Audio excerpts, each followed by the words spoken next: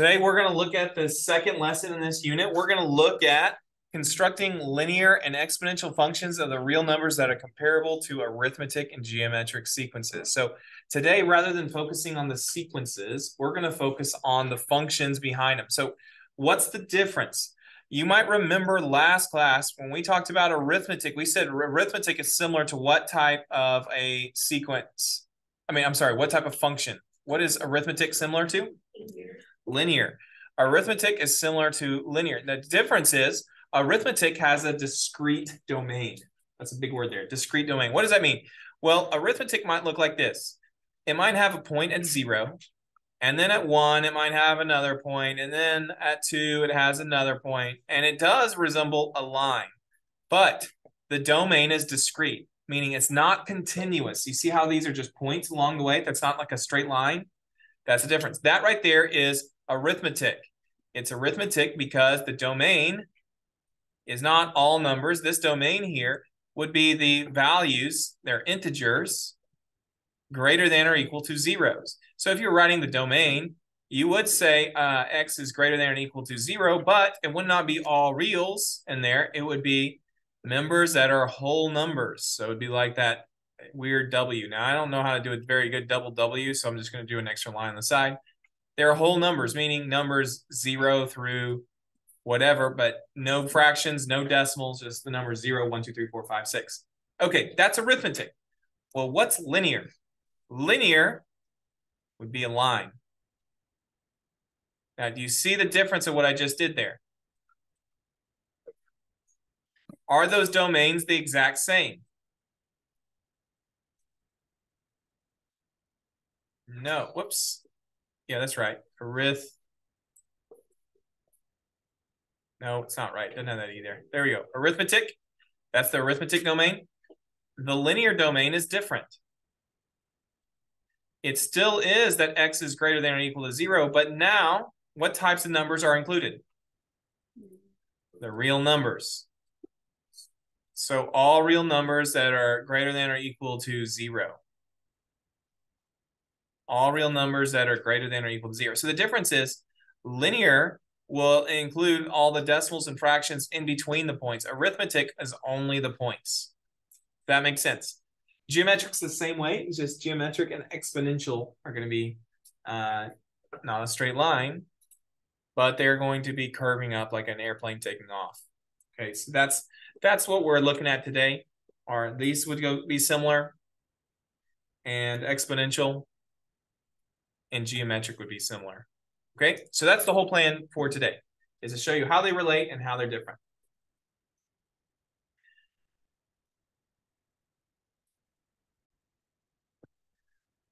All right, so let's specifically, let's talk about how these are related to one another. A linear function is comparable to the arithmetic sequence. Consider the following. In point slope form, what you learn about the equation of a line is this we learned that we can write the equation of a line as y equals or f of x equals. Uh, there's a letter we use for slope. What's the slope? M. M. Now, what in the world? When you were in Algebra 1, most of y'all dealt with y equals mx plus b. But point slope looks like this. It was m times x minus x1 plus y1. Now, that was your formula for point slope. You probably don't remember that as well because he didn't work on it nearly as much. But that was uh, point slope, not slope intercept. Slope intercept was the y equals mx plus b. I can write that right here. It was slope intercept. That was y equals mx plus b. y equals mx plus b. But this is point slope.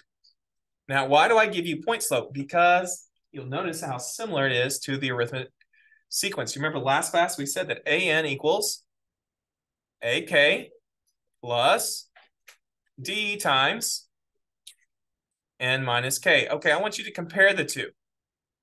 Now, what's similar to slope over here? When you compare the two, the d, the common difference is the slope. What is x1 equivalent to? The k, very good. And what's y1 equivalent to? Okay, so now on these points, you'll notice that K and X1 correspond to each other. And AK corresponds to Y1.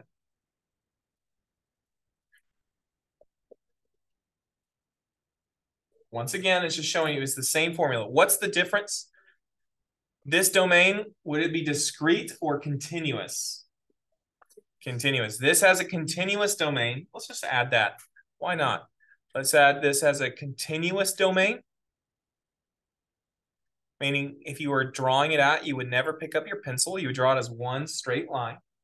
Over here, arithmetic does not have a continuous domain. It has a discrete domain. That just means like the whole numbers. You'd have a point at zero, point at one, point at two, point at three, and so on. That's the difference. Okay, now let's do the same thing, a little cheat sheet for us for geometric.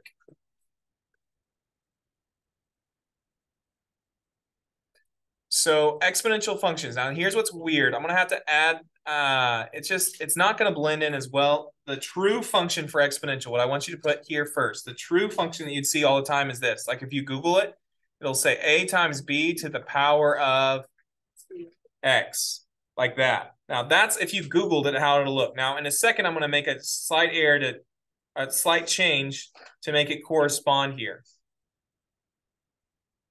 But last class we learned about geometric and we said that is Gn. It's Gn equals what? Gk times R to the power of n minus k.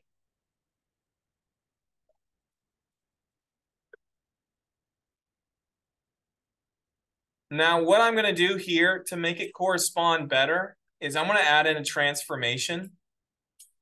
And because I can see what they did here, I'm just going to add this minus x1.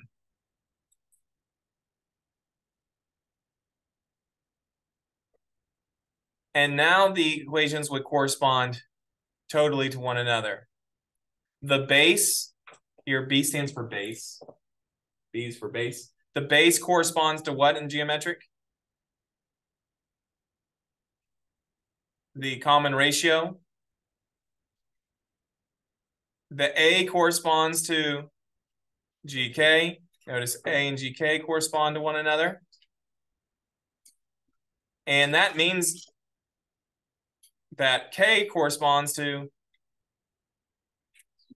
X1.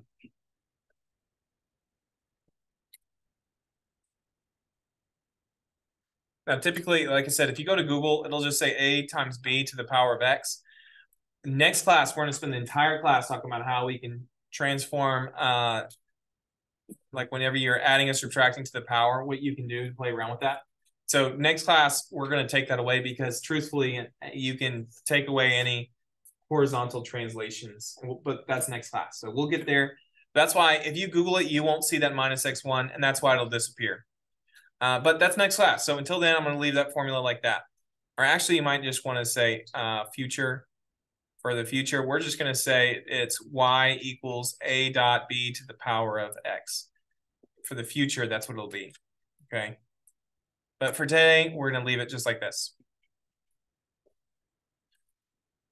All right. Again, uh, an exponential function has a continuous domain. This has a continuous domain. Whereas, what does continuous domain mean again? It's like uh, one curve, you never pick up your pencil if you're graphing it. Over here, we'd have a discrete domain. What does discrete mean? It's like the whole numbers, discrete domain. It'd be if the plate the values like 0, 1, 2, 3, 4, 5, 6, so on and so forth. Okay, there's a little cheat sheet for you. I'm giving you, just because we haven't dealt with exponentials. On the next slide, I did just kind of show you a picture so you can look back. What is uh, exponential supposed to look like? I'm going to add a few things to this that are important for exponential to know. On an exponential function, you have a y, uh, excuse me, I almost said y-intercept. You have a horizontal asymptote. Uh, that's not the color I was looking for. I was looking for red. Let me try one more time. You have a horizontal asymptote, there you go, at y equals zero. So go ahead with your ID badge, if you could, just add a dashed line. at y equals zero. Exponential functions have a horizontal asymptote at y equals zero. You'll hear me call this uh, that they'll have three key features. That's one of them. Exponential functions have a asymptote at y equals zero. It's a horizontal asymptote.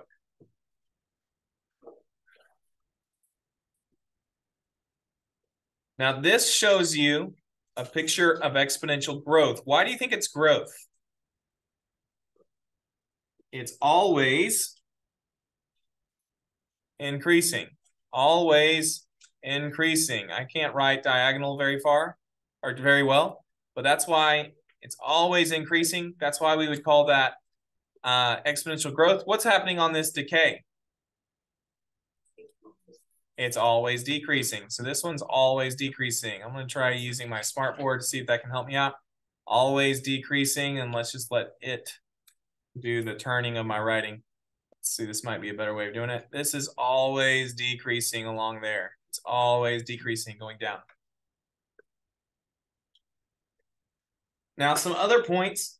Uh, this came out of our the pre-cal textbook I use for like regular pre-cal. Uh, they don't deal with the letter A. You will be tested on the letter A, which means this point's going to be different. I want you to change this to a zero comma A. That is a second key feature. At that point right there will be zero comma A. Whatever your A is, that's where it's going to hit the y-axis. That's a second key feature. So first is a horizontal asymptote that it's going to approach. Secondly, is it'll go through the y-axis at the value 0 comma a, whatever your a value is. Third, third key value is it'll go through the point 1 comma a times b. So it'll always go through the point 1 comma a times b.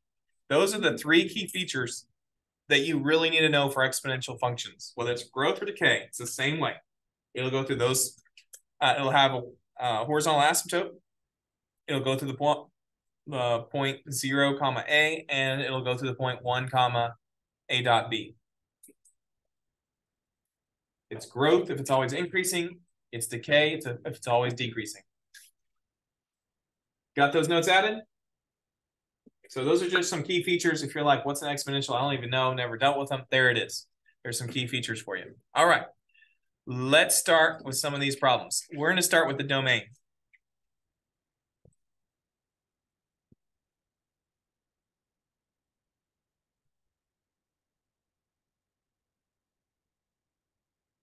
When you look at this picture here, what can you tell me about the two equations when you compare them? They're both increasing. That's looking at the picture. What can you tell me about the equations? They're similar. They're very similar. We have a value that's multiplying, a value of 2 that's multiplying this base of 1.3, which is being raised to the power of n or x. So what's the difference when you look at the graph? Do the graphs look exactly the same? No. No, this has what type of domain?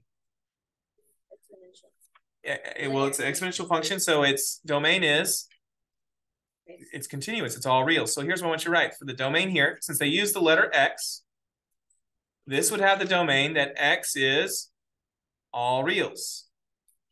You know, and I just realized they went farther to the left. So uh, earlier we could have made our domain all reals. This is not just greater than or equal zero. This is all reals. It's going left forever and it's going to the right forever. Nothing stopping. So the domain is all reals, all real numbers. However, over here, does this graph go left forever? No. Now, it will continue to go right forever. Difference, though, are all the points connected? No. So since they're using the letter N, let's fix this. You gotta work with what you got to work with. This is a picture. They shouldn't have used the letter X here. What is the independent variable in this problem? N. I'm going to change that to an N. And so I'm going to say, what is true about N? N are the numbers that are greater than or equal to zero. However, it's not all real numbers that are greater than or equal to zero. It's only the, what type of numbers? Whole numbers, N-E-W, N-E-W. And it's a, technically a double W, so I'm just going to add that extra line here. That just means it can't be 1.5 or 2.5, but it could be 0, 1, 2, 3, 4, 5, 6, and so on. So one more time, an exponential function is very similar to geometric. The difference is really the domain. That's the big difference, the domain. And arithmetic is very similar to linear. Once again, the difference being the domain.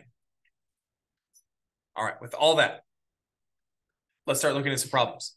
It says a function has the following coordinate points. Could the function represent a linear function, exponential function, or neither? So there's multiple different ways of doing this. What I would suggest is checking to see if it's linear first. If it's linear, that's going to be similar to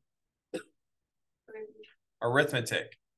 So what you would want to see, if you remember for arithmetic, that's not how you spell arithmetic. If it was arithmetic, we used the letter D, and we said D equals any term minus the term that came before it. Now that's how I did it last class for arithmetic. What we've done in the past for linear is we've done change of y's divided by change of x. How much am I changing here my y's? How much do my y's change? 3, and you would divide it by the change of x.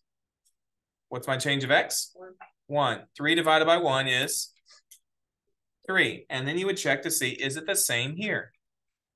How much did my y's change? 12. How much did my x's change? Now, is that the same? So the common difference, this is not a common difference. This is not a common difference because you'd say these two are not equal to each other, so it's not a common difference. Or if you don't want to use a common difference, common difference is similar to slope. You'd say it has no consistent slope because they're changing. Does that make sense? Mm -hmm. So what do we just discovered? It is not linear or arithmetic. So how do you check to see if it's exponential? What you do is you do division. You take 4 and you divide it by 1. And then you do a power of whatever the change of x is. The change of x goes here. Let me give you a little formula. It's the change of x root of the change of y, uh, dividing change of y's. Uh, let me do it this way. y2 over y1. That's the formula you're using. So on this one, how much, what are my y's? It's 4 and 1. And you do it to the root of, what's 3 minus 2? 1, that goes there. So it's the first root, which the first root does nothing. If you don't know that. First root, that means dividing by the power 1, does nothing. So what is 4 divided by 1? four. Okay, let's check and see if the next works the same. If I did this one, it would be one more time. We'll have a root 16 over 4. And what's my change of x's? 1. Uh, let me just write it out so you can see it. It's 4 minus 3 there. Now, if you're doing the first root, the first root does nothing. First root will not change the problem at all. So what is 16 divided by 4? four. Now, is that the same? Then that means that it's our, uh, that is our base, RB. Me put B there. That's what our base is, or our common ratio. Since they're equal to one another, it is exponential. This is an exponential function.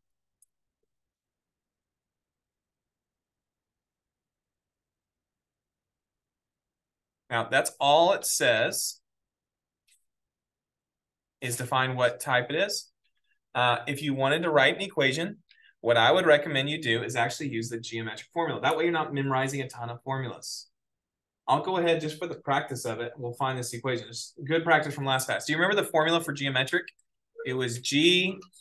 N equals G K times R exponent of N minus K. That's right. So what I'm going to do here is I'm going to just plug in a point to solve for what we're not what we're missing. I'm going to call. Uh, do not want to use two one? Are you okay if I use two one? You can pick any of the points. Are you okay with two one? Yes. All right. What I'm going to do is I'm going to call this. Uh, let me switch colors here. I'm going to call this K and this GK. Follow? So I'm going to say that gn would equal, what's gk? One. 1 times my rate. What is our rate? 4 raised to the power of, uh, you know, you don't have to do the parentheses there. Let me keep it the same. Sorry. 1 times 4 to the power of n minus, what was my k? Two. 2. Now there it is in geometric. So if I wanted to change this to exponential, all I would do is I would say this is no longer gn. I would replace it with f of x equals. When you multiply by 1, do I need to keep the 1? So I'm just going to say it's 4 to the power of n minus 2. I don't need the parentheses. There's my equation right there.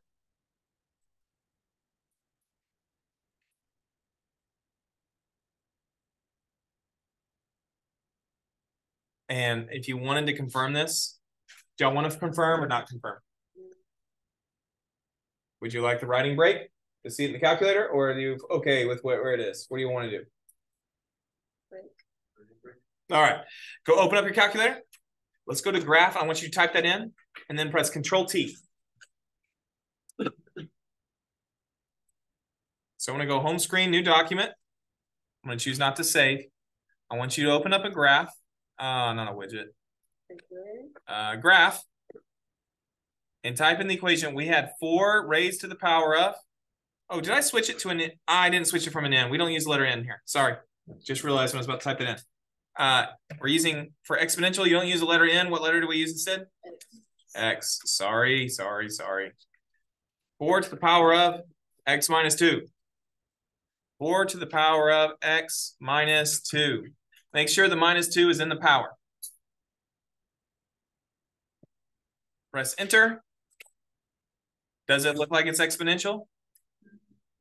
Yeah, look, it has that horizontal asymptote. Okay, now, if you're wondering why did it not go through that point, you said it was going to go through 0, comma a. My a is 1. Why is it not going there? It's because it's been shifted right two units. So that's where it's going to be there at this time. Anyways, you're probably not thinking that. Press Control T. You're probably thinking, tell me about the table. We I gave you the points 2, comma 1. I gave you the point 3, comma 4. And what other point did I give you? Four comma sixteen. Are they all there? Yes. You bet. There they are right there. Those are our points. And so now let me go ahead and add these over to our notes. So we have them.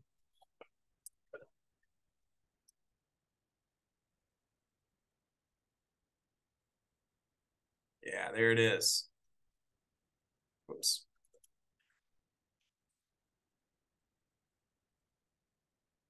So we can see we got the right answer. Okay, let's reload and do this again. All right, this time we're gonna go a little faster. Does it, does this appear to me, appear to you to be arithmetic? What do you think? Does it seem like we are adding the same amount over consecutive x's? What am I adding by here? I add four. What do I add by here? Three. Are those the same? So it's not a slope or common difference. It's not a slope or a common difference because these two are not equal. So now if you wanted to check, is it a exponential function with the same, what's my base versus is it a common ratio? What you do is if they're consecutive, you don't have to do that third root, what I was talking about. You just divide one by the other. Let's check. So you take seven and you divide it by three. I don't have to do anything because it's a six and a five. So I don't have to do that root portion thing because six minus five, what is six minus five? One. One. And the first root of anything is itself. It's like raising it to the power one. Does no different. It's actually dividing by the power one. But it does nothing to you. So I don't need that. The seven thirds, the same thing as, now let's try 10 divided by seven. Are those the same? Are those the same fraction or are they different? They're different. So if they're not equal, then what do we say about this? It's not arithmetic. Not uh that's not the word for today. Today the word is linear. It's not linear. Here it's not exponential.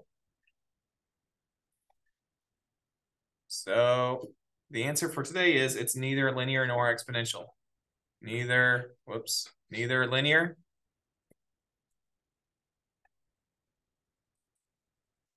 nor exponential.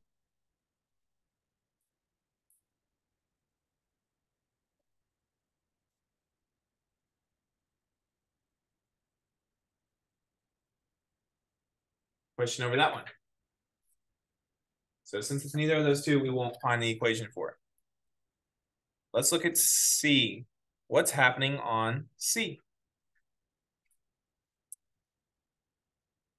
What you want to check for first, arithmetic or uh, geometric, meaning linear or exponential? exponential. You want to try exponential first? Okay, you do a division. 7 divided by negative 1. But what's my change in x's? So this is a square root this time. What is 7 divided by negative 1? Negative 7. Can you take a square root of negative 7? That's imaginary. It's not real. Uh, that would be that would be i square root of 7. You can't do that, so it's not it's not exponential nor is it geometric. That's imaginary. You can't do it. When you look at those two, you can't do it. That's because you can't take a square root of negative number. If you're not sure, type that in and it'll say error in the calculator. Can't do it. So it's not that. Okay, so now what's the other one we want to try? Let's try arithmetic. So if I try arithmetic, I'm saying how much am I adding or subtracting here? Find my slope or my common difference. How much does that add by? 8. So I add by 8. And it's change y over change of x.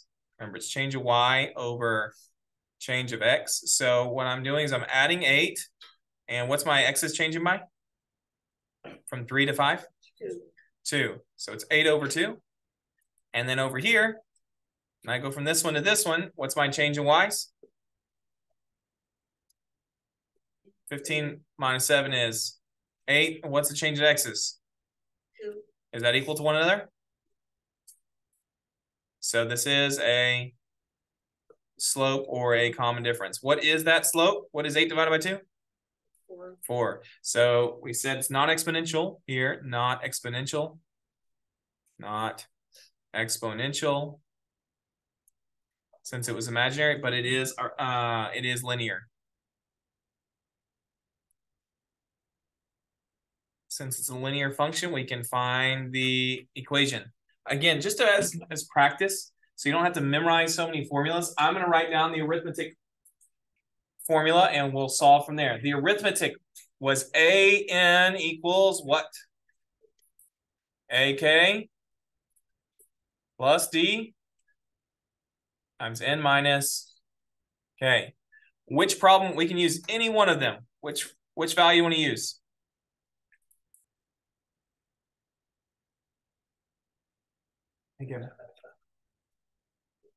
Which one are we going to use? Five, seven? Okay, I'm going to call this K and AK this time. That's K and AK. We're just going to use five and seven. Doesn't matter which one you pick, you should always get the same answer. So the formula would be AN equals, what's our AK? Seven plus, what do we say our common difference is? Four times n minus k is 5. When I simplify this, we'll have our actual equation. This will be 7 plus, I'm going to distribute here. 4n. And then what's 4 times negative 5? Minus, minus 20.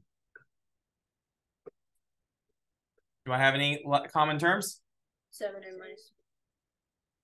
So I'm going to call this 4 n, what's 7 minus 20? 13. Minus 13. If you change it to a linear function, you would say the equation is not an anymore. I'm going to say f of x equals, or, and not an n, what letter do we use instead? x for x minus 13. And that would be your answer right there. You could check it in the calculator, but we're just going to trust that's right this time.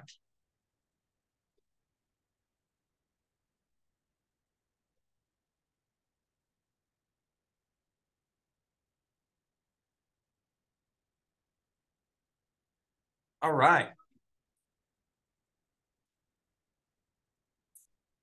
So there it is. You've seen how we do these. We've seen how to convert.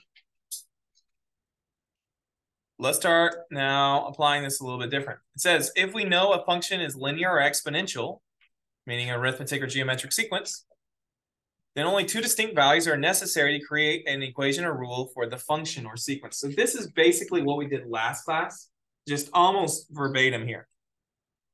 It says, it is known that f of x is linear. If it's linear, what is that going to be similar to? Arithmetic. Go ahead and write arithmetic here. Not as a cross out. I mean to write arithmetic as in that they're similar. That passes through these points. Write an equation for this function. I'm going to use the arithmetic formula so you don't forget that formula. I need you to memorize it.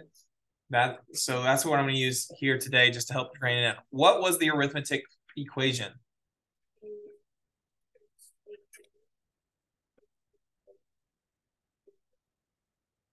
Very good. That there it is.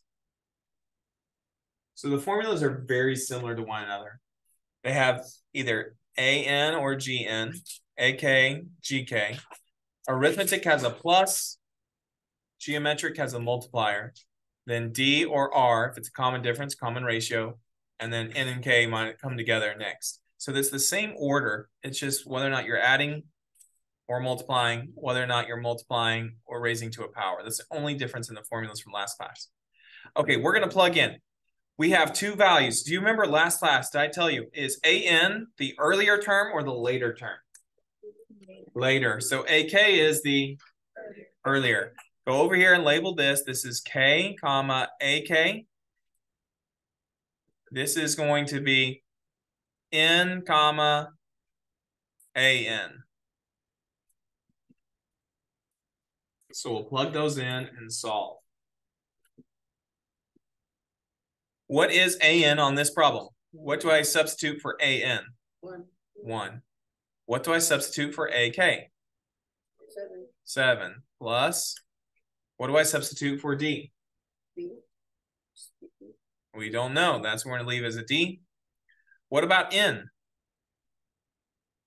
What about K? Three.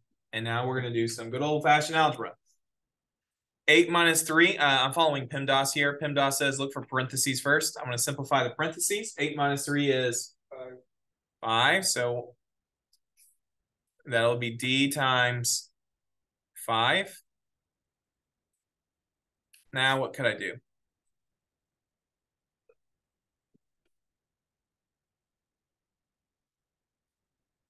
Want to isolate this D to solve for it. We could divide by 5. I would actually do one thing first. Let's subtract the 7. So when I subtract that 7, what's 1 minus 7? Negative 6 equals, and I'm going to write rewrite this. D times 5 is 5D. And last step here, Divide by five. divide by 5.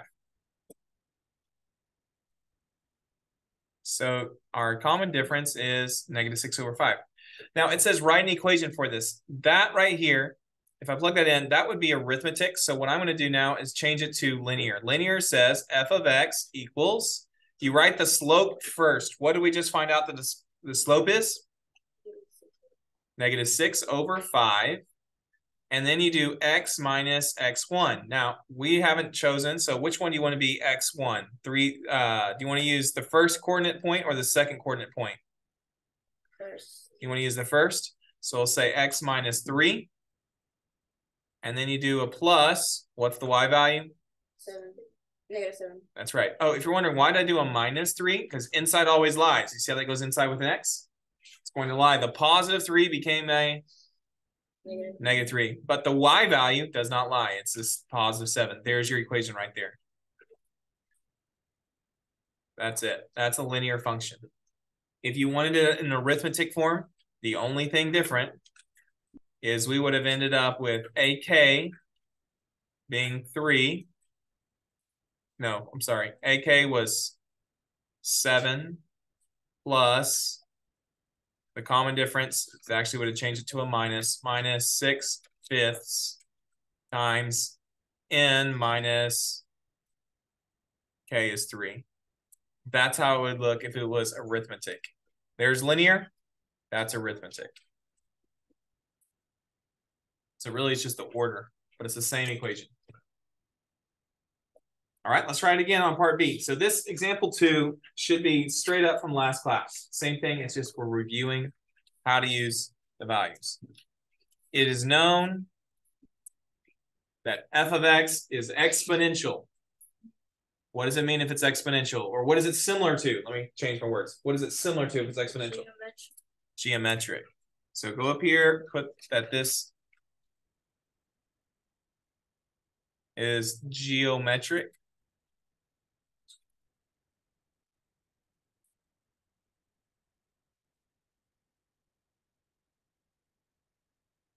And the reason I do that is I don't want you to have to memorize a million formulas.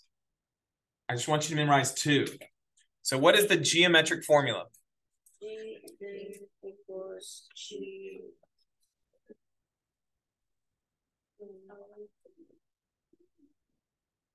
Perfect.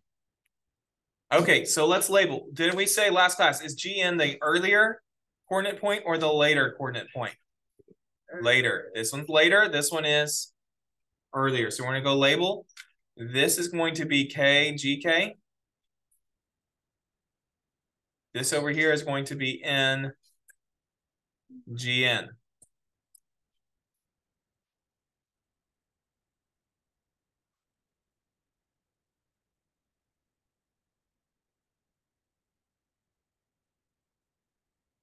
So let's plug in some values. In this case, what is GN? So What is GK? What is our ratio? We don't know. What is N? And what is K? So now we go to solve. Uh, I want to get R isolated. What's the opposite of multiplying by Five. We'll divide by 5.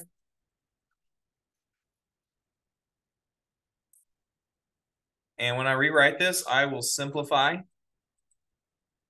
R to the power of, what's 4 minus 2? 2. Now, to solve this, you have to get rid of a square. What's the opposite of a square?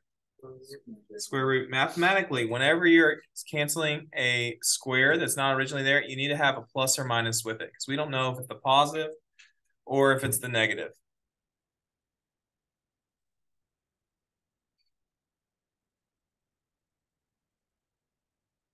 Now, that's not a very good value, is it?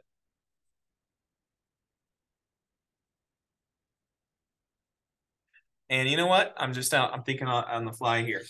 Now, this mathematically is true, what I wrote down here. But for exponential to be continuous, an exponential function, you're going to learn this uh, next class. For exponential function, not for geometric. Geometric can have a positive or a negative ratio. For exponential functions to be continuous, it has to have a positive ratio. So R equals uh, not the positive negative. Uh, since not R, I'm gonna say B. Sorry, I'm switching to B. It is true that R would be plus or minus this square root. Your base equals that since the base has got to be greater than zero. You're gonna uh, that's gonna come up tomorrow. Your base, I say tomorrow, next class. When we do packet two, three, you're gonna learn the base has to be positive. So I'm not gonna do plus or minus here. There. What you doing? So when I write down my exponential function, I'm going to use this as my base. So now let's go write an equation. The equation for uh, exponential, you would say f of x equals, that a term is similar to gk. The a term is your gk. What was our gk? 5 times, I want to put this in a parenthesis the 12, uh, excuse me, square root of 12 fifths raised to the power of Two. be x minus the k. What's our k value? Two. Now, next class, we're actually going to learn a better way to simplify this. Question for you. What would you prefer? I'm going to stop here and put the answer. Do you want me to kind of go into the future and show you how we can simplify that? Or do you want to just leave that for next class?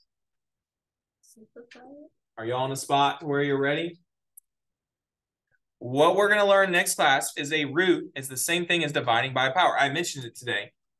What that means, so in the future is what I'm going to do here. In the, uh, I'll just say in lesson two, 2 dash 3. In lesson 2 dash 3, what we're going to learn is this, that this will be equal to 5 times, and I'm going to say this 12 fifths. I'm going to take away the root but I'm going to raise it to the one half. You're going to learn a square root is the same thing as dividing by the power of two. The 12 fifths itself was a power one. A square root is like a dividing power of two. Well, all of this is being raised, so sneak in another parenthesis, to the power of x minus two. And what you learn next class is you can distribute that right there. A power raised to a power multiplies. And so what we'll get next class is that this equation could be written as f of x equals 5 times, I'm only going to write one parenthesis this time, 12 fifths with no root. What's 1 half times x? Just a half of an x minus what's one half times negative two? Negative one. You could actually rewrite this answer this way. Now that's next lesson. So give you something to look forward to over the weekend right there. So I'm sure you can't wait. Y'all aren't on my bad jokes, huh? Okay. Not interested, but that'll be uh coming up how we can simplify those. But for now, you can just leave it, leave the answer like that. All right. Do you have any questions for me? No? So this is the part of the lesson I really, really, really like. What we're going to do here is we're going to transition and I'm going to pause for a second before I go further in exponentials. That's why I decided I'm going to get into the nitty gritty math next class. What I decided to do here is I'm going to just pause and say, why are we learning this stuff? Did you know this is some of the most influential stuff you could use for mathematics for your life? This exponentials I've been walking you over. You probably don't believe me. Truthfully, uh, show of hands in this room. So we got 31 of you here because all 31 are present. How many of you would like to buy a house someday? Do any of you have, uh, we Googled this in my other class, the median household, y'all go ahead and Google it again. I'm trying to remember because it's been uh, A Day was a little bit ahead of y'all. Go Google what's the Texas median? That means what occurs most often house price. Texas median house price.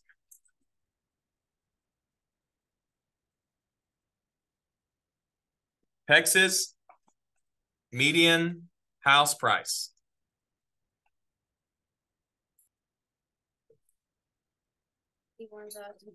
Okay, Y'all, uh, everyone in the room, I said, who wants to buy a house someday? And everyone's hand went up. Do you have $351,000 to your name? No. So how are you going to buy a house? You're going to have to have a mortgage. Mortgages are based on exponential loans. Different question. How many of you would like to become a millionaire? No hands go up. Really, be honest. How many of you would like to be? Some of you are like, no, I want to be a billionaire. Okay. How are you going to get there? Some of you might be like, well, I'm just waiting to be filmed doing something stupid enough that it trends on YouTube or on Instagram or on TikTok. And I make, but how do most people make a million dollars? Investing. And if you say it's because of my parents, it's not true. Uh, what percentages? Oh, here we go. What percentage? I'm I'm showing I'm googling this stuff so you don't think I'm a liar. I'm giving you the facts here. What percentage of millionaires are uh, self made. You know what that means? Whoops, I put or. 90 79 Do you know what that means? Self-made? You made your own money. You didn't get it from your parents. How many? 79%, which is basically four out of five. So any and one out of five, sure, they get it from their parents, their grandparents, whatever else. Most people, that's not how they become millionaires. What I'm gonna walk you through is how you can, you, literally you, you can be part of that 80% of millionaires that were self-made, how that can happen. It usually happens through business. There are some who do it because of athletics. There are some who do it because they're exceptional musicians. Um, there are some who do it because for whatever reason people follow on social media whatever the wild reason is they do it and they become that way. But most people do it through business. I'm about to show you how to do that. Now how many of you want to be broke? No hands okay? How many of you want to be in debt? Truthfully uh, here's the next one. Uh, google what is the uh, what's it called? What's it called? Uh, us consumer debt what is the U.S. consumer debt? That means what do we, not national government. Uh, I'll show you. This is a different number. What do you see here? Total consumer debt. 17.7 Oh, okay. That's a ton of money. I want to walk you through what how much money that is. Do you know how many people are in the, this? When I say consumer debt, that does not mean the debt of the U.S. government. If you Google that, it's like in the 40 trillions. Okay. Uh, you can, if you don't believe me, what is the U.S. national debt? And that'll tell you what with the government what they owe and all that. Uh this says 33 trillion. That's old news. There's no way it's only 33 trillion. Well maybe it is 33 trillion. I i'm looking like for 48.9 there it is. This one. So what it's doing is it's adding consumer debt plus. That's the government. Sorry. That's what i was looking for Uh, as a country, we own we owe almost 50 trillion. That's not what I want here. What I want to talk about is how much do you and I, if we added up all the yous and all the me's across the country, how much do we all owe together? It's 7.06 trillion. Now let's go to the calculator and do some something wild real fast. Go to your calculator. And I'm just doing this as a setup to show you what I'm about to teach you is very important. As I made the statement, this is the most important thing you can learn from me. Unless you want to be an engineer, then sure, you got to know some algebra from me and stuff like that. But for a lot of you, you're here just to raise up your GPA. I want that college credit. That's why I'm here. I hmm. want to show you why this, what I'm about to teach is the most important thing for you. If that's you, you're here to raise your GPA, you're here for your college credit. Well, now you're here for an extra purpose. So hopefully you're not broke. Hopefully you might be one of the wealthy ones. Some of you, I get it. Your politics, you're like, no, I don't want to be wealthy. Those people are me deep down, you know you're lying to yourself. Every one of you in here knows you prefer to have some money. So 17.06 trillion. What does that mean? 1706. Now, if it's trillion, is that a trillion right there? No. That's a thousand. 17,000. What if I added three more zeros? Now, where am I at? That's 17 million. What if I added three more zeros?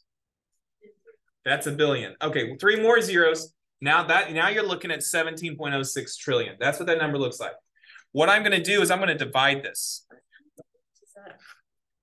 Uh, I added three, four, five, six, seven, eight, nine, 10. It took 10 zeros to get to 17.0 trillion. Now, I'm going to go back to Google one more time.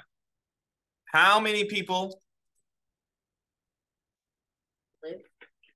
are in the United States, are in the USA? 339. Okay, let's just say 332. I'll do the exact exact number. 331.9 million. Okay. 331.9. So if I'm doing million, it's 331 million. There, I added two zeros. Is that 331 million right there? That's 331,000. So I need to add three zeros. Now is that 331 million? There's a group of three. There's that it is. Now press enter. It's about to blow your mind. Some of you are going to be like, this is not true at all. What I'm about to you, and it's 100% true. I just showed you the stats. Press enter. You know what we just found? Whoops. How about this? Press control enter. Do, you know what we just solved for? The average debt per person. So right now, Guadalupe, you owe forty, fifty-one thousand dollars, like credit cards, houses, stuff like that. Do you, Emily? You, Jacoby, y'all probably go around the room. You're like, that's not true. I don't know nothing. I don't know Jack. But this is average, which means if y'all don't all own Jack, I probably own hundreds of thousands of dollars, which is actually kind of true when you, mm-hmm. if you factor in the house. The problem is house isn't try isn't quite right because of the thing that's different with a house. It's a better debt than just about anything else in this world that I know of. The reason a house is a better debt is I bought my house two years ago and I had to take out a $332,000 loan. I just saw that my statement came in the mail uh, yesterday, I think. So it's 332,000 is what I originally owed the bank. Why is not as bad of a debt if I sold my house today? Does it sell for that amount? No. No, it increases the value. So I could pay off that debt and still have some extra. I don't know of anything else in this world that works that way, other than maybe a business. So like you buy a car. Let's say the, the loan is $30,000 if you try to sell it a year later, are you going to get thirty thousand dollars for your car? No. It's going to lose value, and so sometimes you pay that off and you still owe them money, and you don't even have the car anymore. That's what I mean by house is a little bit different. But if you go around all the people in the United States and you add them all up and add all the debts and you divide it, average person's fifty one thousand dollars debt. I have a four month old daughter. She's included in this. My four month old on average would have fifty one thousand dollars. That's how high of a number this is. You think about. Do you have debt? No do all your little siblings and whatever in you know fifth grade, sixth grade have debt? No, that's how much an adult must have. Not this number, but a bigger number because it's got to average out. So what am I trying to set the table for you? These formulas can either set you in a spot to put you on a track to where you can become really wealthy and become like a millionaire. Or if you ignore what I'm about to teach you today and you do the opposite, it'll set you on track to be in all kinds of debt. That's the facts. So do I have your attention now? Let me show you some stuff because we're going to run through some numbers here. There are two formulas you're going to need for these exponentials. Here they are. It's the compound interest and the continuous compound. Most businesses operate off of this formula. If you take financial classes in college, they'll call this a PERT because what does it look like? PERT. PERT. There's a PERT and there's also this one. Now, this one's different. This is when the interest is compounded a certain times per year. Many things in real life are this way, like credit cards. Credit cards charge a person interest once per month. Not all the time. It's once per month. My mortgage, I have to pay the bank. They calculate the interest once per month. Do businesses only make money once per month? No. How often do they make money? Every day. That's this formula. Continuously is like a business You'd use this formula. Things like a car payment, a house payment, credit cards, you'd use this formula. These are the two formulas you need. Okay. N would be the number of times per year. Just make sure you highlight that. That's the part that everybody forgets. What they say, what is N? N is the number of times it's compounded per year. So most things in real life in the, in the United States of America, how often do you have to pay for a car loan? Every month. Once a month. How often do you have to pay for a house? Once a month. You would say how many times, how many months are there in a year? 12. In those cases, N would be 12. That's the most common in real world. That's most common. Okay. So let's get started. By the way, A is the final amount. P is the initial investment. P is the principal. There's the word right there. P is the initial. And A is the account value after T years. Okay. So let's get going. Uh, the numbers I give you today are 100% legit. I do not just make up random numbers. 100% legit. If I say that uh, when I use, I'm going to use a bunch of companies here, they're 100% legit. No lies in this lesson. Okay. I looked them up. You can check them all uh, if you want to when you walk out. Mr. and Mrs. Jimenez, all I made up was the story behind the problems. Everything else is factual. Found an educational savings account for their daughter that pays 5% in interest compounded monthly. Since I added this, this interest has actually gone up a little bit. If you pay attention to any financial things, which you probably don't, but which is kind of good for you. You're 17. You shouldn't too much, but it's it's wise to know how they work. If they invest five thousand dollars for their daughter and make no deposits or withdrawals, what will be the value uh, account after 18 years? Here's my thinking. I just had a four month old daughter. If I wanted to start saving for college, when's the best time to start, start saving for a college? Now. When she's 17? No. Right now. Let's say I had $5,000 and I put it in the account. Mhm. They made 5%. Let's see what it'd be. Okay. This tells you somewhere what type of a uh, interest it is. Compounded how? Where does it say? Right here. Compounded monthly. Does that mean it's compounded all the time, continuously? No. No, it's a certain number of times per year. It's it's a discrete. It's the other formula. So you're going to use compound monthly. This is the formula. A equals P times 1 plus R over N to the power of NT. That's compounded monthly. If it's compounded monthly, though, N is how many times per year? And if you want to make a note, so you, if you, that's because 12 months in a year. That's why N is 12.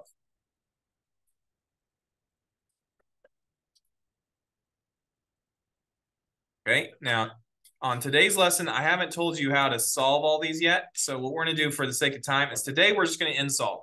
But by the time we finish unit two, which is going to be closing in on Christmas, you're going to know how to do all this by hand. Uh, it says 5%. What do you think 5% is in this problem? That's our R. Now you can't type it in as 5%. And so what you can do is you divide it by 100%. Uh, because 100% the same thing as 1. Percent symbols cancel. And so 5 divided by 100 is the same thing as point, how about 0 0.5? Now, if y'all didn't know that, all you do is you move the decimal over two times. You add a decimal, move it left two times. So our rate is 0 0.05. Okay, what's that 5,000 right there? That's the principal. That's the starting amount. When I use the calculator, I'm not going to do a dollar sign, nor am I going to do a comma. No commas, no dollar signs. And then finally, what's this 18? Years. Time. That's time. Now, I made this one easy. We don't have to insolve at all. It's already, the, the variable is isolated. By itself. We can just type this in. We don't have to use insolve. So let's go to our calculator. See, how much money is my 5,000 worth? So if I have 5,000 saved up today, and I say, I'm going to set this aside for my daughter. This is for her college fund. And if I set it aside today and I don't touch it, I just pretend like that money wasn't there. Well, let's see what it turns into. 1 plus a rate of 0.05 over 12 raised to the power of 12 times 18. 12 times 18. If you're on Desmos, by the way, you'll need to put a parentheses around the power. Uh, it won't, if you don't put a parentheses, every time you hit times 18, it's going to go off to the side. It won't stay up in the power, just so you know. All right, hit enter. What value did you come up with?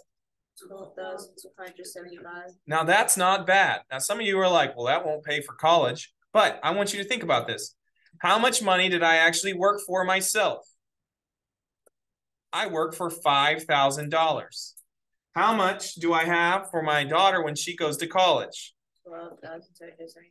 Twelve thousand two hundred and seventy-five dollars and four cents. Now the idea is that I already have this money saved up, and so that five thousand I already have saved is now worth twelve thousand. Now she's my fifth daughter, so I'm really having to save for all the kids. But the idea is that's what that original 5,000 worth. Anything extra I save, I could invest in, and it could also grow. What's better, 5,000, 12,275? 12,000. Okay, let me say it this way. How much did you work for? Uh, How much of that did you not work for? About 7,200. So did you actually get more money from what you worked for or what was not worked for? Not. You got paid because you were patient. How does this work? How can it just grow out of nothing? What happens is if you have the money on this front end, what they'll do is you'll put it in an account and those people are going to lend it out to the, to do quotes here because life is, this isn't true for all people. Sometimes you have to take out debt because of life situations. But most people in America don't borrow money because they're in certain circumstances. They borrow money because they want to buy something. They get on Amazon and they see something they just, oh, I like that. And they click that little button that says, Starts with a B, ends it rhymes with buy. There you go. Press buy, and it goes in the cart. And then they have, oh, you can buy this with a credit card. Click. And what they're doing is they're taking smart person's five thousand. So I'm taking Scion's five thousand. I'm saying, hey, you want a credit card? Okay, and I take his money and I give him over here, and I'm going to make a ton of money off whoever borrows, and I'm going to pay Scion five percent of it. It's safe. I guarantee him he's going to get five percent.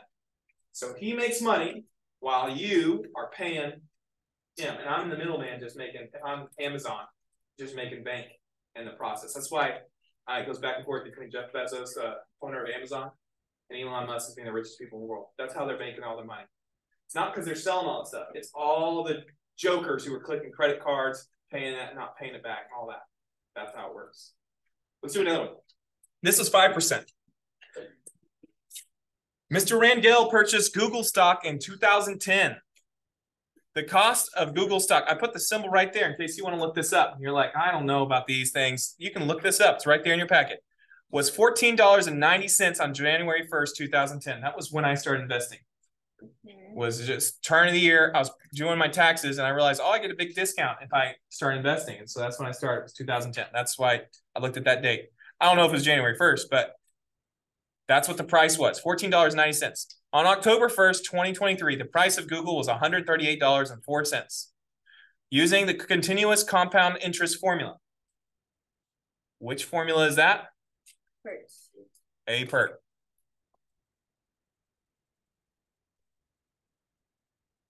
Find the rate of interest for Google over the approximately 14 years of growth. Let's plug in our stuff. $14.90. What will that be on this problem? Um, That's our P. So go to your P and I want you to put here, this is going to be 1490. What is the 13804? That's our A. 138.04. We don't know rate. E, by the way, is a number. It's like 2.72. It's like pi. It's a constant. It does not change. You don't solve for E. Uh, but we do know T. What's our T in this problem? 14. That's going to go in there. So the only thing we don't know is R. That's what we're solving for. So we're going to nSolve this one today because I haven't taught you how to solve those yet. So go to your calculator. Press menu three one. It was $138.04. Is that right? Y'all have the packets in front of you? Equaled $14.90. E, we don't know our rate, but we know it's 14 years. Hey, for your calculators, a lot of people have errors here. I'm going to flip it. Don't put R14, it won't work. Put 14R. If you put R14, it won't work. And then if you don't know how to nSolve, after you type in the whole equation, you have to do comma R. Press enter and see what you get.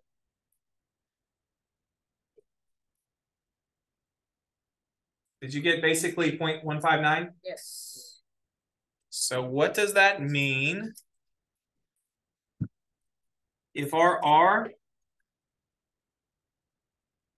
if our R is 0.159, let me do a squiggly. That means I'm rounding. Then that means the rate of growth is what in percentage? 15.9%. Now that's true facts. That's not a made up number. That's how much Google has grown at. So now let's move on to part two here. If the stock continues at this growth rate, and Mr. Rangel's initial investment was $3,000 in 2010, what will his stock be worth at 2030? So notice I told you I bought it in 2010. I don't think I actually had three. I think I had about a total of three thousand dollars in 2010, and I split it up between this and Apple. But let's see what that value is worth. Let's just pretend all my money I put in, or Mr. Rangel's money went into this. We don't know A anymore, but we do know P. What's our new P? E, we know our rate. What's our rate? Fifteen point fifteen nine. Whoops, point fifteen nine. And now how many years are we doing this? For 20. From 2010 the 2030. Let's go and see. Take a guess first before you type it in. Just throw out a number. Thirty thousand? What do you think? 30, 30? Is that what you said? Okay, 3 to 30. Any other takers? Let's go find out. Go to your calculator. 3,000 e to the power 0.159 times 20. Press enter. What do you get? What would that 3,000 turn into if you never touched it and you left it in Google? Seventy-two. $72,140 and 26 cents. Hey, I'm going to give you something else that's awesome. You're not taxed on any of that until you sell it. Oh, that's true. Until you sell it, you don't pay any taxes on that money. So when you go work at a job and you're making some and you're looking down there what taxes taking out, that's not how it works with companies. You do not pay on these stocks until you sell the company. Then you sell that stock, you never pay any taxes. So uh, I'm going to say this is approximately, because we're rounding, $72,000, 140 and how much change? 26. So remember a second ago, I told you that was the educational savings account. It was a safe 5%. They're telling you we will pay you five. It's safe. It's not going to be four. It's not going to be six. It's locked in at five. Can't do better, can't do worse. You buy a business, it can go belly up or it could make more. In Google's case, it's made more. What did $3,000 turn into? Seventy-two. So remember previously it was 5,000 turned into 12,000 and some change. Here, 3,000 turned into 72,000. All we did was add two extra years. What would you rather have? Five turning into 12 or three turning into 72? Seventy-two. Now, I didn't, I, I'll tell you, when I got out of college, I learned about this stuff. I didn't buy it right away. I graduated in 2008. I started investing in 2010. Quick story here. Um, so I started investing then. I meet my wife in 2013. I get engaged to her in 2014. So I got to go buy a ring. Now, I had set up my accounts just to buy the same stocks over and over. So whenever I threw in cash, I'd buy. I go to buy a ring. Now, my ring is cheap. Guys' rings are cheap. It's ridiculous. Mine cost $25. And I actually paid for my own ring. My wife didn't pay for it. Isn't that ridiculous? But I go to pay hers. I don't remember what it was, but it was literally thousands of dollars. You can buy a hundred thousand dollar ring if you want to. It's crazy. Mine was less than ten. Don't remember what it was. It could have been five, could have been four, could have been eight. I don't remember. I just know it was thousand dollars. I was like, oh my gosh, how am I going to pay for this? I, I don't want to take on debt. I Thought, well, I'll sell my Google, sell my Apple. What blew my mind is I hadn't been tracking it, and I open it up, and so I had been investing from this time, 2010. This is now 2014, for four years. And when I went to sell my stock, I sold to pay for the ring. Let's just say it was six thousand. I'm just going to pick a number. Let's just say it was six thousand dollars. I sell six thousand, and I still had a higher balance after I sold from the ring than whatever I put in. Just completely blew my wife, blew me away. I learned this in college, and deep down, I was like, I don't know if this is true. So if you're listening to me going, I don't know if this is true, just run the numbers yourself, start looking. That was my real experience of like, I couldn't believe it. I was like, I just sold six thousand dollars worth of stock. I bought this ring, and I still have more money in my account than I ever even put in. It just blew me away. Crazy. Let's keep going. Let's do some more. So I didn't just buy Google when I started, and I wouldn't suggest you only buy one company either. So my second, actually, I think at the time my favorite was first Apple, but uh, here, Mrs. Hernandez owns a stock in Apple. And again, there's the four letters. You can Google that. Check this out yourself. She owns 220 shares, each valued at $171.21 on September 29, 2023, for a total value of 37,000 whatever. If Apple has grown at this rate, compounded continuously since her initial investment of this amount, how long has she owned the stock? Okay, what in the world's going on? Which formula would I choose this time? A acre. Why? What do you see? Interest and continuous. but not continuous. So A per. What they gave me a whole bunch of values. I wanted you to learn how to dis distinguish this because if you're going to research this on your own, you got to be able to figure out what they're talking about. What are the important numbers here? Twenty-two point four. Interesting. Okay, that one. What is that going to be? Right.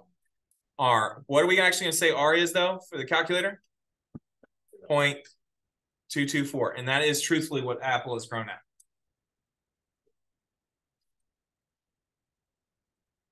Okay, what else do we have in this problem? One hundred seventy-one point twenty-nine. Okay, now that, wait, sorry, I lost a number. This one we're not actually going to use in this one, nor the 220, but we are going to use these two. What's this right there? That's A. How do we know? That's the value on September 29. What else are we going to use? Uh, this is take away the dollar sign and the commas, 37666.20. And then the here. This, what value is this? P. Now, these numbers I'm getting very realistic because you have to buy in terms of shares. And that's why they're so crazy. If you ever are working a stock problem and you don't have crazy numbers, it's because they're not the real numbers anymore. They always, once they become these shares, they get crazy decimals. So they're always going to look like that. What's the only value we're missing here? All right, take a guess. How much time do you think it would take an Apple if you bought Apple for 5,000 to become 37,000? Take your guesses. Throw out how many how many years do you think? 12 years? All right, let's find out. 37 666 dot was it dot 2 equals 5 0 you know give me the other numbers? 5 0 6 2 point 16 i'm sorry 16 point six five. E to the rate of 0.224 and we don't know how much time do we? Comma t. Press enter.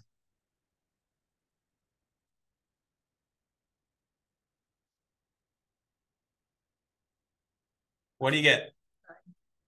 Nine years. What i did is I look back and I said, okay, what if you invested nine years ago? Which means every one of y'all would have been in, in school.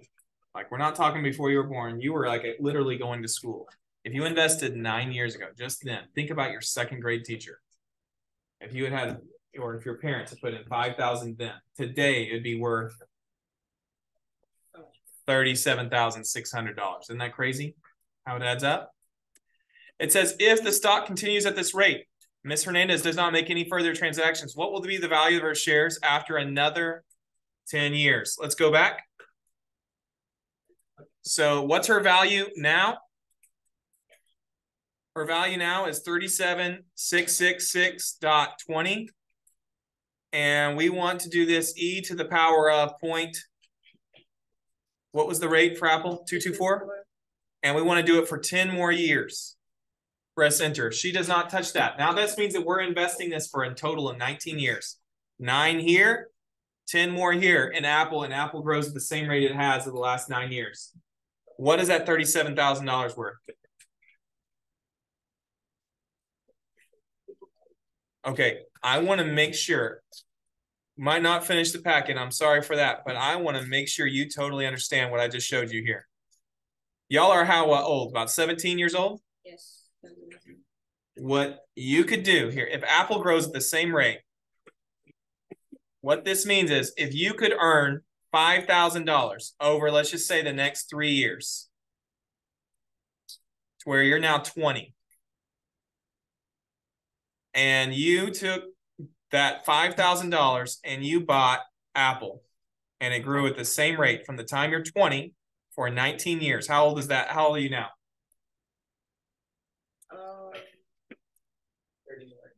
You're now 39. Your $5,000 that you earned while here you're 17, 18, 19, that $5,000 you worked so hard for. How, how much money did you work for? $1,000. That means you're flipping burgers at McDonald's. You're making those Subway sandwiches. You're frying those Cane's chicken tenders. And you worked hard for 5000 But instead of just blowing it buying the next iPhone and the new Beats and whatever else we blow our money on. You just say it, and at 20 years old, you decide I'm going to take that 5,000 by Apple, and you don't touch it. when you're 39, how much money has your $5,000 turned into?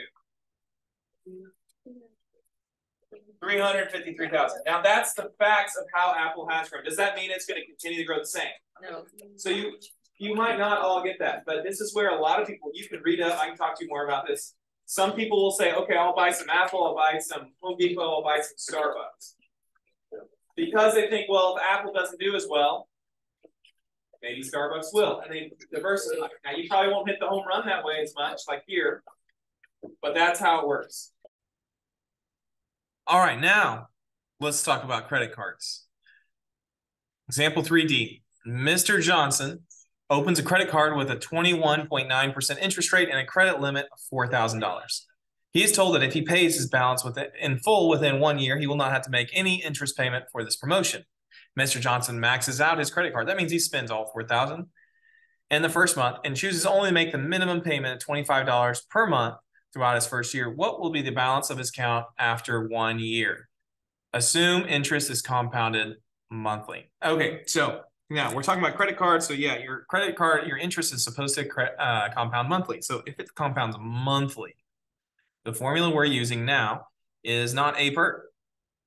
And the formula we're going to use now is A equals P times 1 plus your rate over N to the power of NT. Now, this is how credit cards get you, is they tell you, hey, you can, uh, if you open a credit card with us, we'll allow you to spend $4,000 and you won't have to part of this promotion is pay back within a year. So many people spend that 4000 and they get their bill in it says nothing's due and so they don't pay it and they don't pay the next month they don't pay the next month.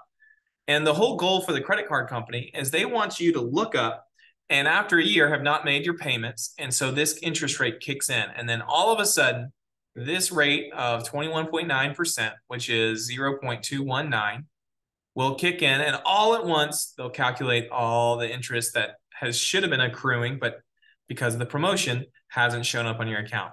So in this case if it's monthly we're talking about i'm going to go ahead and uh, let's switch this over here. Monthly is going to be n equals 12 there's 12 months per year. So we're going to have 12 there and also a 12 here. And we have this rate of write this over here at the rate of 0.219. What we want to know is what's going to be our balance after we go one year. So the one thing that's going to change here, uh, T is going to be one for one year. Uh, let's see, what will be after one year? There's our T. Now what's going to happen is my 4,000, we're actually going to pay 25 payments, $25 payments, and we're going to do this 12 times.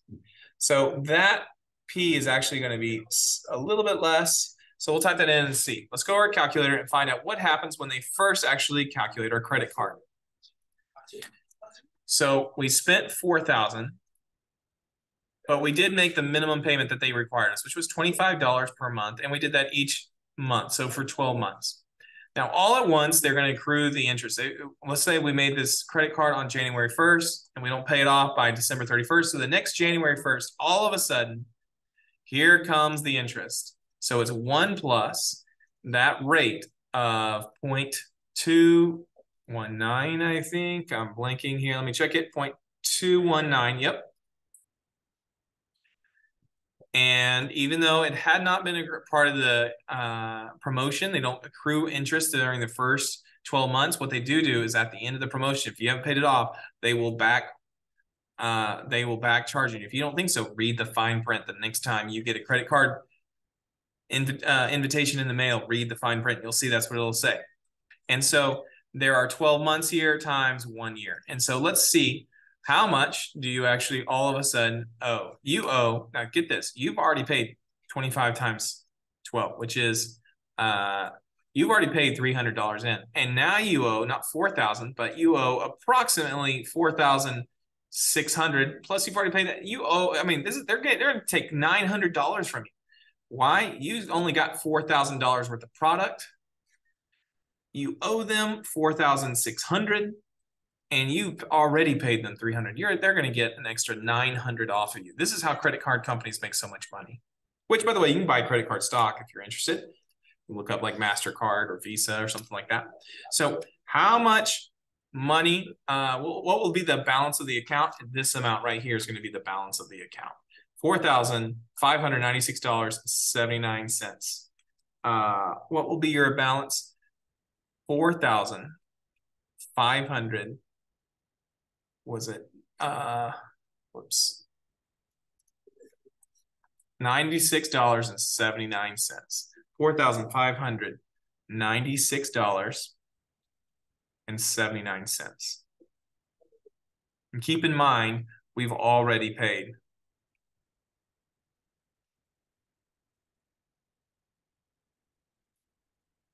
$300. So that's not saying take 300 off that. No, that's on top of the 300 you've already paid. So you owe them $4,896.79 in total. Now, here's something we really got to use a calculator for. If Mr. Johnson increases his monthly payment to $100 per month starting in year two, so meaning after the first calendar year, what will the balance be after those full two years? And so let's just play around the calculator here for a second. Here's how this is going to work. You take the new balance, which is there, $4,596.79. And what we're going to do is each month we're going to pay $100. Okay, so we're going to subtract 100. Now, whatever balance is left over, we'll go through and get interest added to it. And so the interest rate is 0.219 divided by 12. So that'll get the monthly interest rate. And then we'll raise it to the power of uh, however many months have gone by. So in this case, we're talking about not a full year. We're going to say what happens after one month. So after one month, we pay $100. And what's our new balance? Shouldn't the balance go down $100? No, because all the rest of the balance earns interest. And even though you paid $100 to them, how much do you now owe? Check this out. After one month, so we've gone from January to February, your balance has only dropped approximately $18. And so we're going to do this again. Now to make this faster, what I'm going to do here is I'm going to copy. So that right there is, uh, that was what your balance is on February 1st. Now I'm going to do this again, but I'm going to change this amount to the previous answer. And there's a way of doing this in the calculator. Ah, sorry, is you're going to hit uh, control ants right there. Now this I want to copy because we're just going to do this a few times through just to see what it ends up. So I can do this faster and hit control C and I'm going to press enter. What this is going to do is going to take this new balance.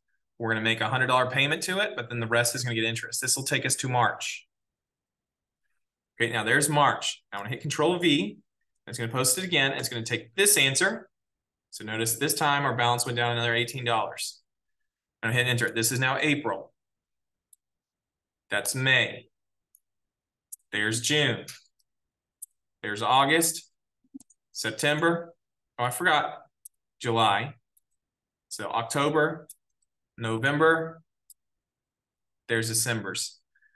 We've rolled around and we'll, after paying them a $1,200, we'll still owe this amount. Now, you might not have, I hit enter there quite a few times. You might be going, what in the world did he just do? What I did is I just submitted how much we paid all those different times and found out that after paying the credit card company $100 a month 12 times, so I think I did that 12 times there. But what I got here is we've paid the calc. I'm going to just mark, make sure you mark this. We've paid the credit card company. We've paid $100. Whoops. $100 12 times which means we've paid in $1,200. And so what's our balance? We spent 4,000 originally. Our balance remaining, remaining balance.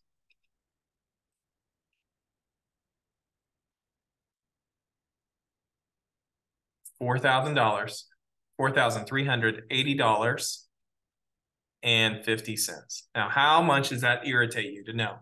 You spent 4000 because you didn't get this credit card paid off in time.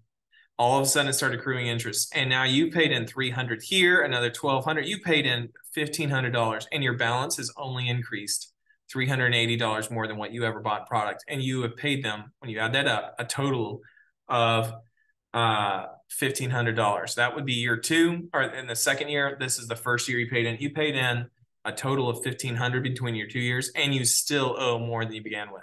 That's how, how people in the United States of America get in such debt. Credit cards will eat your lunch. All right, now I showed you how to invest here uh, in these. Say, uh, these are pretty safe accounts, riskier when you use companies, but they can give you a higher reward. I showed you here how you can become in debt by using credit cards. And now let me go to the last one. How about buying a house? If you want to buy a house valued at 350,000, which is just above the median Texan Texas household price. I think when we Googled that earlier, or wait, was it 351? Well, it's something like that. That's about the, the price of a home in Texas right there. The mortgage rate is 8.269 as in October 1st, 2023 for a 30 year fixed loan. So the Gonzalez put 20,000, 20% down at closing. What will their monthly payment be? So let, us think about this. If you took 350,000 and you had 20% of it to pay initially. So you saw the house costs $350,000. So I'm going to take $350,000 and we had 20% to pay. So that's 0.2. We pay $70,000 at closing. That means that's what how much money we've saved up. We have saved up our down payment here, the down payment. Actually, I'm gonna leave that for post my values later. Let's write it over here. Down payment is equal to $70,000, which means the mortgage itself is not 350. That's the house price.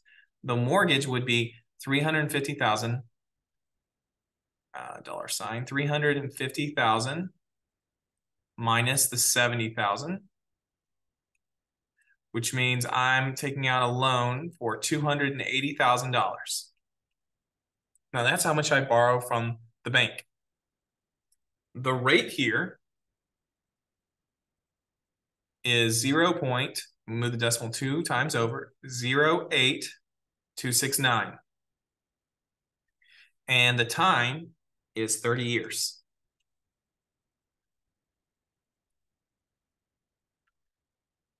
We want to know what's the monthly payment. Well, to find that out, we first have to figure out how much do we have to pay the bank.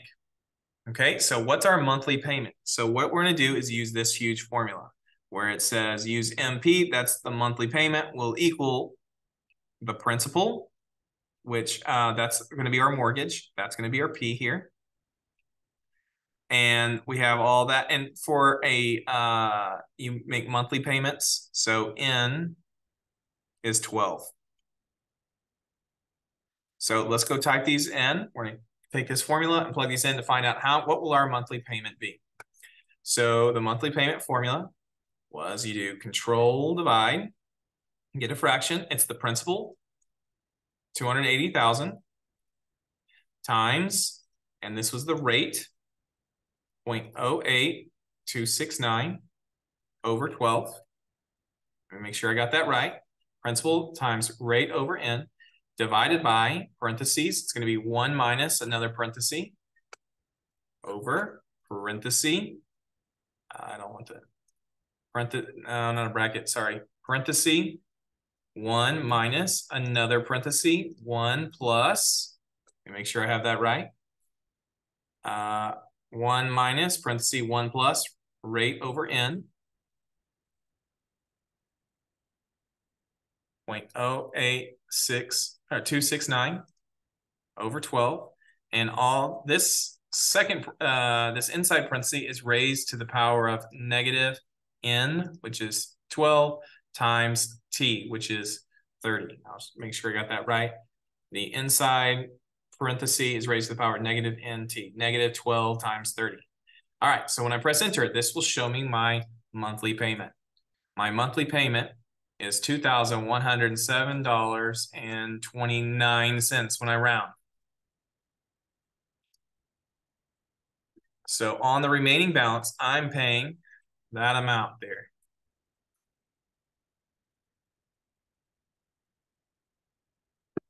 Let's add that over. And so now we've calculated the monthly payment. What am I paying to get that dream house of mine? My monthly payment MP would equal two thousand one hundred and seven dollars and twenty nine cents. Now y'all don't even know about escrow and things like that. You got to be paying saving for taxes that you'll have to pay the Texas state government. You're gonna have to have home insurance. So you're that's gonna this number is only gonna skyrocket. Let me just say it that way. It stinks, and you're gonna have repairs and stuff like that. It's crazy. This is what happens when the rates are this high. But there's our monthly payment. So here's the question: What is the final cost of the home? Not to including taxes, not including home insurance, just the final cost of the home that the the Gonzalez have after 30 years make to the bank for this mortgage. So what we're going to do is we're going to take our mortgage value and we're going to say we're going to pay that amount, the amount we pay, which was two thousand one hundred and seven dollars and twenty nine cents. We make that payment twelve times a year, and then we do that for thirty years. How much do we actually pay the bank? We pay the bank this amount of money. Isn't that crazy? Plus, you had to put seventy thousand dollars down when you first bought the house. So how much did that $350,000 house actually cost you? It costs you almost a million dollars. It's $828,000, $829,000 if you round uh, by the time you've ever paid that off. Now tell me, these loans, stuff can add up. You can get into all kinds of debt in a hurry. Now, housing loans are way better than credit cards because at the end of the day, a house you can turn around and usually sell for a little bit more than you paid for it. But I, I just think that it's completely cra- crazy here. The final cost. So uh, the bank gets, so here we go. The down payment, the down payment was 70,000. The loan with interest turned out to be 75,000 no 758,000 sorry 758,624 dollars and 40 cents. And when we add this up, we get the total cost of the home. Though it said it was going to be three hundred and fifty thousand dollars, we actually paid eight hundred and twenty-eight thousand dollars. Uh, eight hundred twenty-eight thousand six hundred twenty-four and forty cents. That's the actual cost of the home. Wow money can really add up to help you or work against you with exponential. These are very important formulas to learn.